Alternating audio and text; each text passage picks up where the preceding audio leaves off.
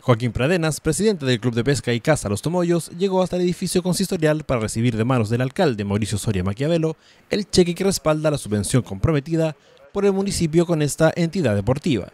El propio Pradenas señaló que este aporte servirá para costear parte del torneo interregional organizado por los Tomoyos y donde participaron deportistas de todo el norte del país.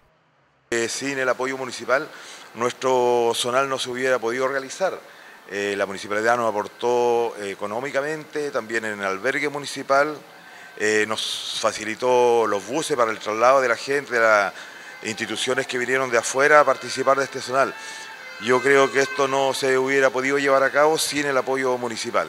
La verdad es que como institución, como Club de Pesca Los Tomoyos y como Asociación de Pesca y Caza de Iquique estamos muy agradecidos por la gestión de la municipalidad.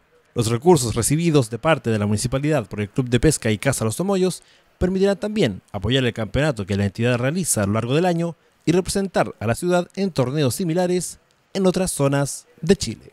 Y nosotros como club eh, tenemos un campeonato eh, anual, 16 fechas en el, año, casi domingo por medio, estamos participando en las diferentes playas de acá de la zona.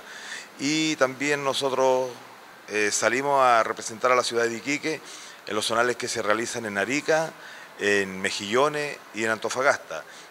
ahora prontamente vamos a ir a Antofagasta, un nacional de pesca también representando a la ciudad de Iquique y a nuestro club.